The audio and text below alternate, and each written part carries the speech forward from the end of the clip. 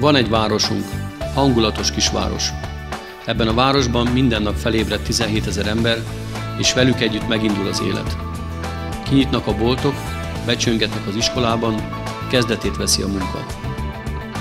Ebben a városban minden ember szeretné megtalálni a helyét, a társát, a számítását. Ezért erre a városra oda kell figyelni. Ezt a várost működtetnünk kell, fejlesztenünk kell, és ki kell szolgálnunk az itt élők igényeit. Olyan várost kívánunk építeni, ami a tapolciakról szól, értük van, az övék. Ahol nekik hoz eredményt az, ami nekünk feladat, a sikeres tapolca.